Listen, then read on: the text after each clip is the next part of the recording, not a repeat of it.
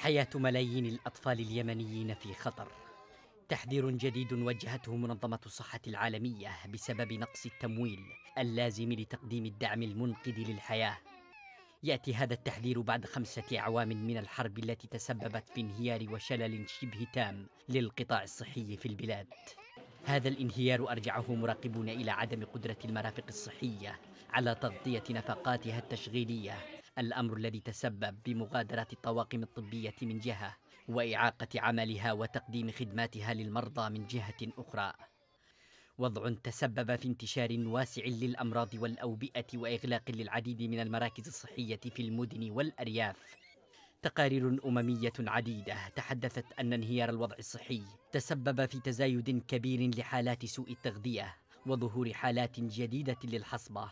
في وقت تعجز فيه المنظمات الأممية عن تغطية تكاليف أدوية المرضى.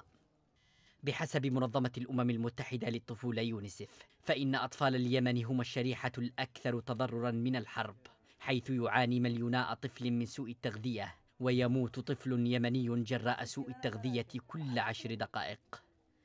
إزاء استمرار تدهور الوضع الصحي في البلاد يحذر مراقبون من أن استمرار الحرب قد يفاقم من الوضع في ظل نقص التمويل والعراقيل التي تواجهها المنظمات الدولية في تقديم خدماتها للمرضى والمصابين.